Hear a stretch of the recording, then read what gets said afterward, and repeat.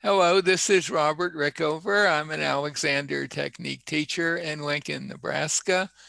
I also teach in Toronto, Canada, and uh, online. My guest today is Penelope Easten, who is an Alexander Technique teacher in County Clare, Ireland. Uh, she studied zoology at Cambridge, then trained to be an Alexander Technique teacher, and after that, uh, worked for about four years with Margaret Goldie, also known as Miss Goldie. And that experience set her off on a 30 year journey to understand what was different about Miss Goldie's teaching and what was this what is the science behind it she's written a book about this called the alexander technique 12 fundamentals of integrated movement and you can get information about that on her website, which I'll be posting by the interview. Penelope, welcome. Well, hello, Robert. Thank you very much for inviting me. Yeah, we're doing a series of podcasts on this uh, general topic.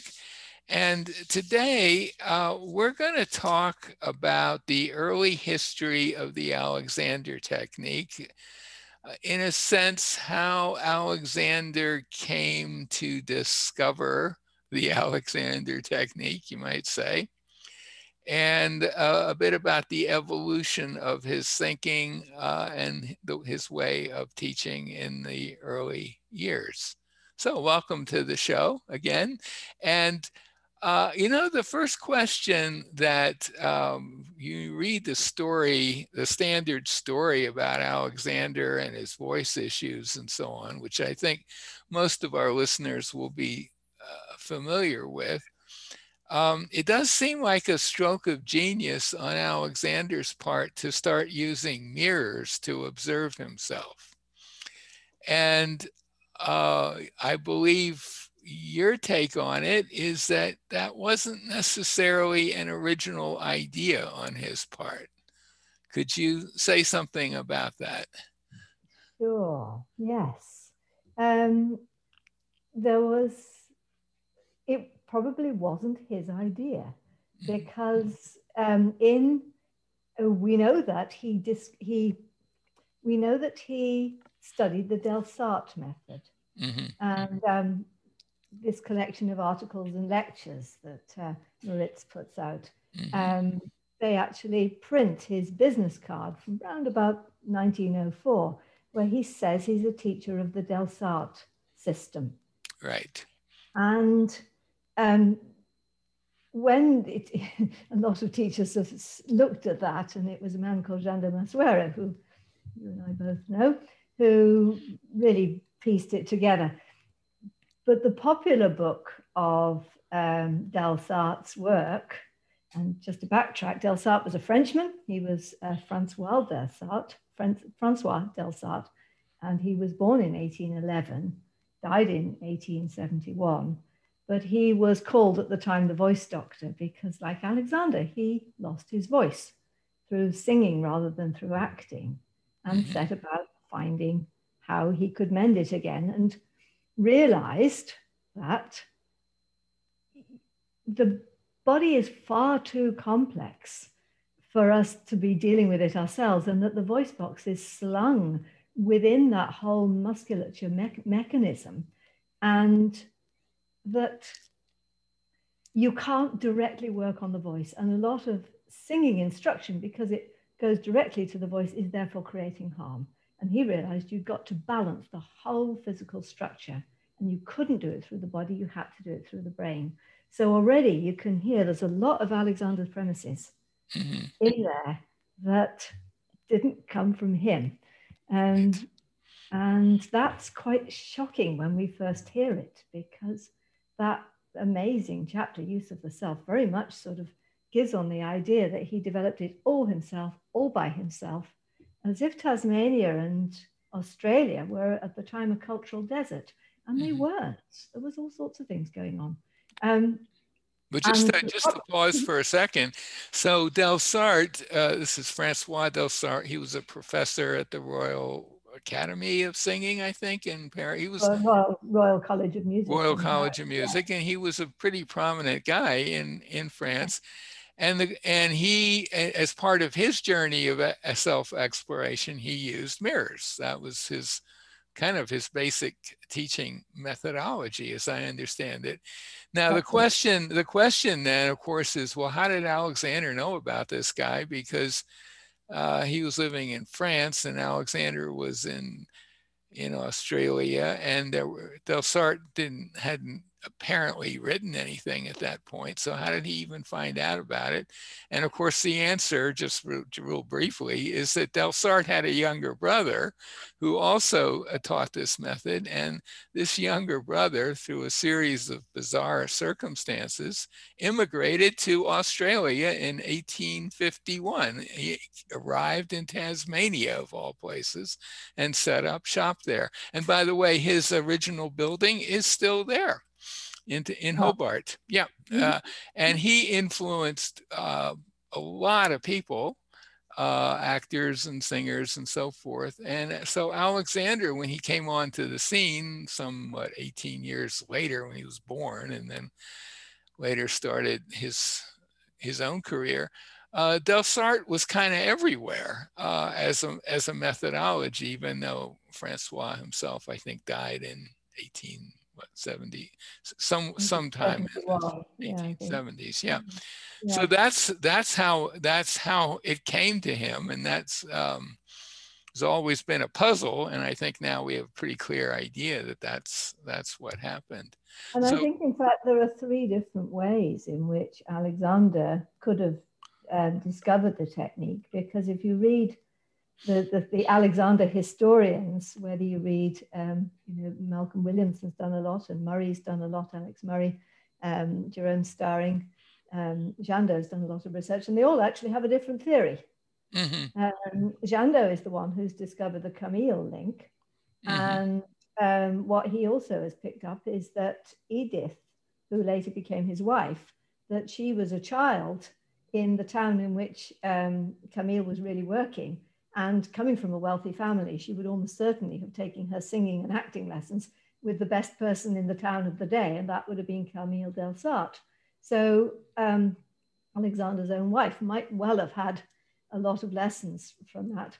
Um, also, um, Genevieve Stebbins um, wrote uh, the main book that popularized uh, work in America, and that was published in 1885. And that was probably in Australia at the time. And she very much puts in about the mirrors. So that might well have, you know, he might well have read Stebbins's book. And then his acting teacher, James Cathcart, um, he had been in London working in a production that Steele MacKaye was in, was, was starring in. And Steele MacKaye had worked with Francois Delsarte and was a major fan. And in fact, he was the one who took it to America. So if James Cathcart had been in the same production, you know, he would have learned quite a lot of Delsarte from there. So there's a whole set of ways in which Alexander would have been surrounded by Delsarte, I think. And at some point, he obviously did a little training in it as well. So, right, yeah. right. And as, as Jandot points out, he would not have put down on his business card that he was a teacher of the Delsarte method unless he did have some experience with it because it, a lot of other people in Sydney and Melbourne knew about Delsarte and it would have they would have spotted a fake right away is, is my my assumption. So initial his initial teaching then apparently uh, did not involve him using his hands to teach people not at all. No, he didn't use his hands for 20 years. So, so let's actually track because there's about four or five points at which the technique takes a significant development. It didn't just, you know, emerge fully fledged out of that standing in front of the mirrors by any means. Mm-hmm. Right. He, Alexander actually started as a breathing coach, didn't he? I mean, it was, mm-hmm. that was when when people have gone digging for all those early business cards and um, news bills and adver- advertisements that he did, he was teaching what he called natural elocution, which meant you know, breathing and the and how you used your voice, mm-hmm. not just aimed at actors, I think, but at the general public as well. Mm-hmm. And that's where he started. And the Delsarte work, he must have learnt, we presume he learnt the Delsarte, but he certainly learnt something early on because, again, he says he took 10 years to, to, to solve his problem.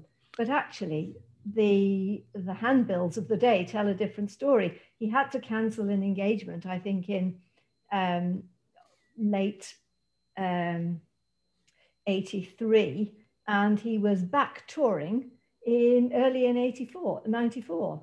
So um, from 93 to 94, there was probably about eight months in which he was off work because of his voice and standing in front of those mirrors, probably working for hours and hours and hours every day in front of the mirrors. And he was working on himself. So let's not knock him for saying, oh, you pinched it all from every, other people. Oh, certainly not. No. He, he did the work. He did the work. He did the work, he, absolutely. Yeah, but but it did not take him 10 years. Uh, the, I think that timeline is thoroughly discredited just if you look at the dates and it, it, you can't find the 10 years really. Um, so, mm-hmm. and, and there, as you say, it could be as little as uh, less than a year. I think John Doe thinks it could be a year and a half. Who knows? I mean, we don't know exactly. And it probably wasn't like a, a sharp thing where he suddenly, okay, now that's, this is what I'm doing. Maybe mm-hmm. he was still working on himself and practicing with with students. Absolutely, because I think he was working on himself all his life. Right. And yes, of course. Using this stuff he got, this self-help stuff, all the way through. Um, right. And not so. So he starts off as this breathing coach, and he starts off doing um, um, rib breathing, costal arch breathing, and then he moves. Then he realizes the whole body is involved, so he moves to full chest breathing, as he calls it. And then mm-hmm. again, if you if you track through articles and lectures, those the first sort of 20 years of the of the articles, you see slowly, particularly after he moves to London, that he starts to get more interested in the musculature and the idea that actually the body is part of it. And and there's one point, um, and and you know, kinesthesia comes into his argument and, and antagonistic pulls comes in and mechanical advantage comes in. R- sort of between 1906 and 1910, you can see the technique emerging, mm-hmm. but he's still not using his hands. And in fact, the 1910 edition of his first book, Man's Supreme Inheritance, which is quite hard to get hold of, um, but if you look on page 193, there's the original description of the cigar box procedure where he's getting somebody to lean themselves back in the chair. Now he is using his hands, but he's only using them in a in a in a totally sort of manipulative way, just in a uh, and a supportive way. He's supporting that pupil back in the chair, but the pupil is doing the thinking, and he's describing what the pupil is to think, and that the pupil is first to give a load of inhibitory you know what they're not doing and then they've got to give positive and they've got to remember those instructions and they've got to be reciting them and not letting them happen in the physical body but just letting the movement happen and then the change will come about. So he's very much getting the pupil to do it for themselves through their brain work. And then um, so that's 20 years in which he's Marjorie Barlow asks um, asked him how he used his hands, and it's in um, oh this little book. Um, she says um, um, he just when he was aware people didn't know how to free their necks, he just naturally put his hands on and showed them, but he didn't think of the hands as doing anything. Mm-hmm. And then, um, round about 1912 and certainly 1914, he tells uh, Frank Pierce Jones that it was 1914, that he had more time because the war had broken, the First World War had broken out, and a lot of his pupils um, stopped coming. So he had a lot more time to think. And then, of course, he went to America, so he had time on the ship, and then he was building up a new practice. Um, and he started using the inhibitory processes that he'd been using to think he started applying them to his hands. And he realized that he could then, through his hands, bring about the process for himself. And I think there were three reasons that he liked that. Um, okay. That, um, let's let's hear them. yeah. well, you've read you've read Lulie Westfeldt, haven't you? Sure. Yeah. Yeah, and she doesn't think he's a good teacher. She doesn't think he's good at explaining. Right. Margaret Barlow thought he was a tremendous teacher, but then she knew him well. She was, he was, you know, they were related. But Lulie found him not a good teacher and, and unwilling to explain. And the early accounts of him teaching, he's getting very angry with pupils because they don't explain and um, because they can't understand. And I don't think he was a natural teacher. Mm-hmm. Um, and so when he discovered he could do it for them, he was like, oh goodness, that must have been such a relief for him because he could actually get them to get the experience to bring about the change they needed. And they didn't have to do it for themselves. So I think it must have been a huge relief to him that mm-hmm. he no longer had to work quite so hard to get them past their faulty sensory perception as well. Their idea that, you know, why should I do that? It feels wrong. Right. Um, you know, because you've got to you've got to, to instruct somebody to do something that feels completely wrong why would they do it? So that's the first reason i think that actually it was just you know it made life a lot easier. But i think there's two other reasons too you know why he um he liked using his hands. And the second is i think it probably looked cleverer. Um, because there he was in edwardian england by that stage because he moved in 1904. And he arrived in Edwardian England as a nobody. Um, and he had to make his way as an uneducated Australian man um, in this very hierarchical, you know, structured and stuffy society. And so if he could do something absolutely a little bit magic, you know, putting hands on somebody and then suddenly they feel completely different. Wow, how did you do that, Mr. Alexander? Mm-hmm. And I think it was probably very good for business. Yeah, and he could sure. probably put his rates up. Um, yep. And it wasn't that he was after the money, it was that he had to make money because he brought his family over, or he was, I don't know whether he brought his family over at that point or whether they were still back in, he probably brought them over by then, actually, hadn't he, by 1914. Um, and he was having to support the whole family because there were what, 10 brothers and sisters yeah he he was the guy who, who was responsible for maintaining this large family of many of whom did not have any money or were not yeah. doing well and yes he brought people over to england and he helped pay for uh, that that kind of followed him his whole life uh, the mm-hmm. money the money issue yeah yes, yes, he always had to bring the money yeah. and he brought his mother across and supporting yep bought a house. So he had to bring the money in. And I think that probably helped that it, yeah. that it, looked, it looked a bit cleverer. Um, and then the third reason is that he was always looking over his shoulder at whether somebody was stealing his work. And that point comes across in um, hmm. Peter Bloch's book. Yeah. Um, and it also comes across in, do you know this book, Jeroen Staring? Yes, of course. Oh, yeah. About. Volumes one and two. it's a massive, massive, massive book. Massive um, history of the technique. Fun. Yeah. But um, he details, you know, very details all the letters between Spicer and Alexander and the previous doctors, and forget their names, um, and how Alexander was always, you know, f- fearful that they would steal his method because they would have the kudos as a doctor, and he as a a nobody, uneducated nobody from Australia would have none, and he would have been he would have been sunk.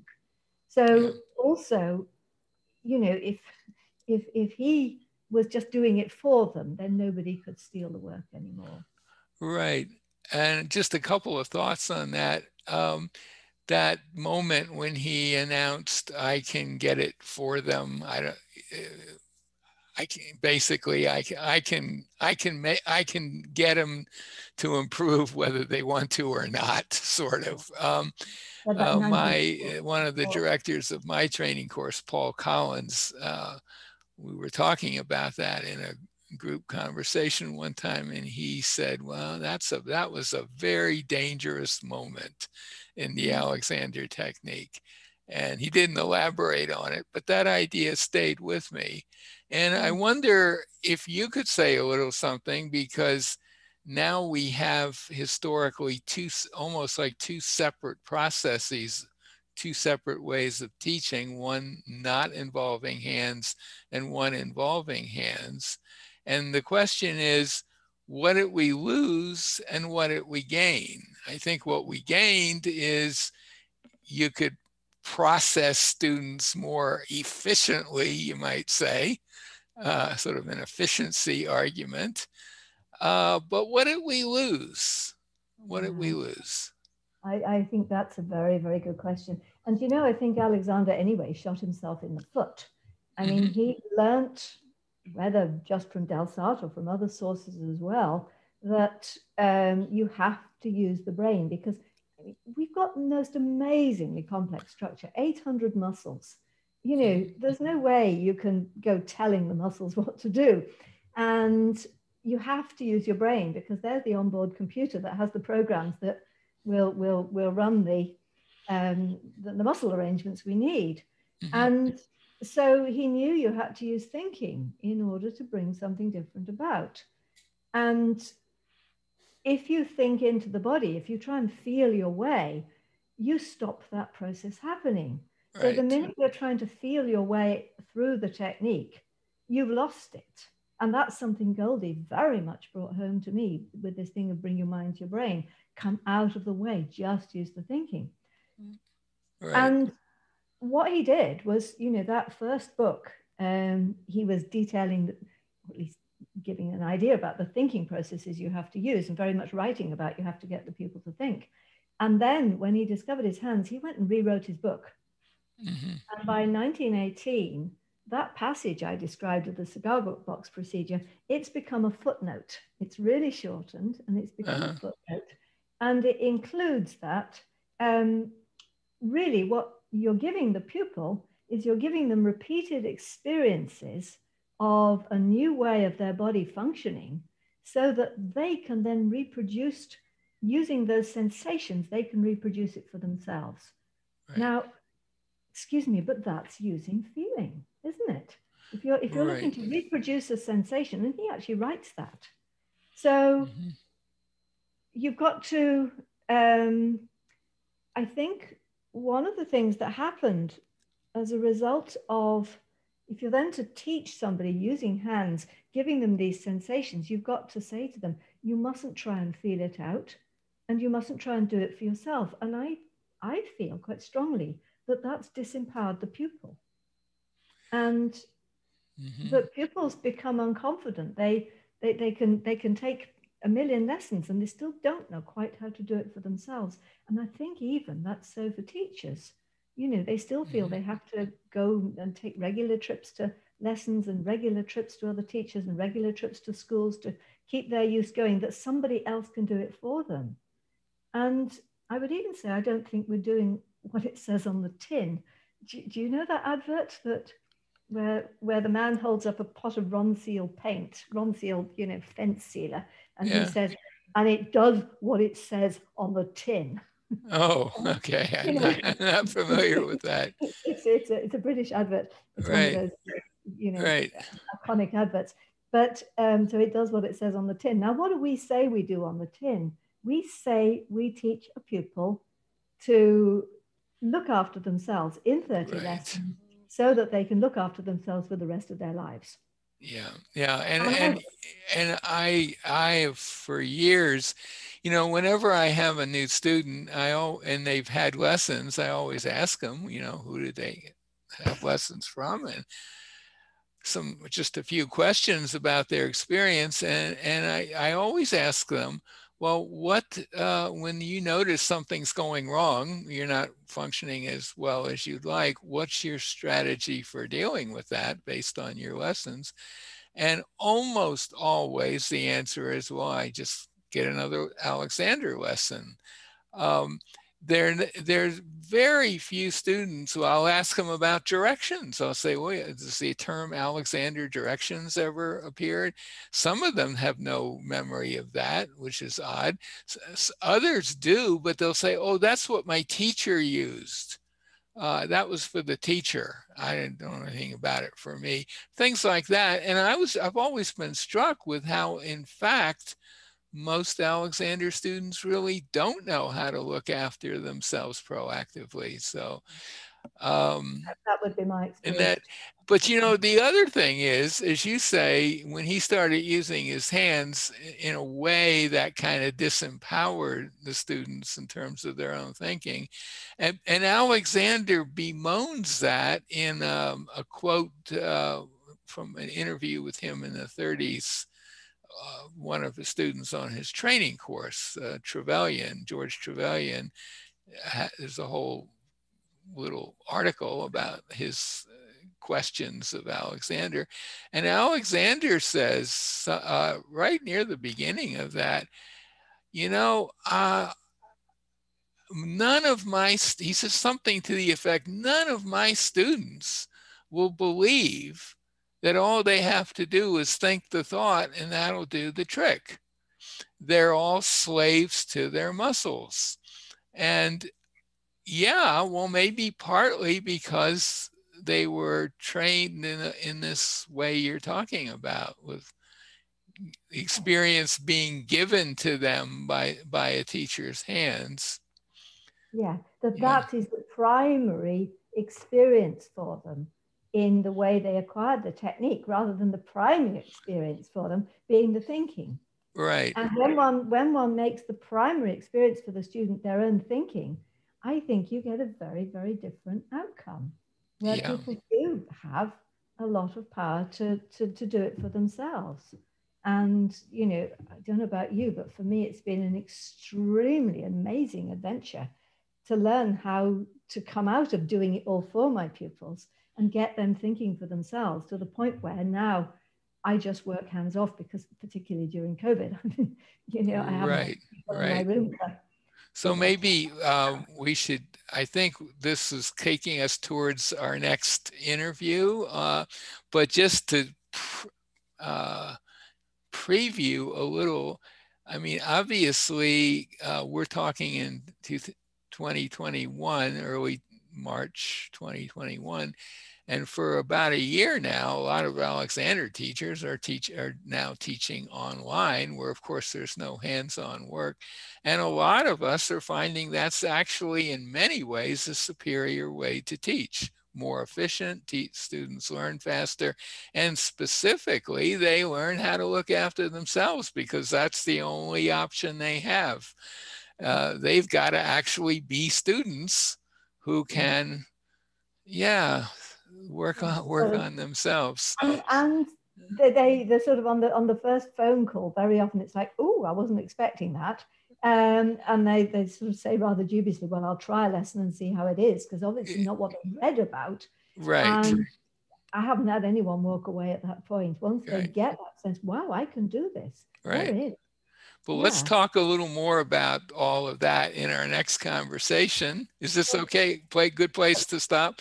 So my guest today has has been uh, Penelope Easten, an Alexander teacher in County Clare, Ireland, and we'll I'll put a link uh, by the um, the interview to her website and information on ordering her book and some general information about the Alexander technique. So, uh, Penelope, thank you so much for being on the show today. Thank you so much, Robert. Thank you.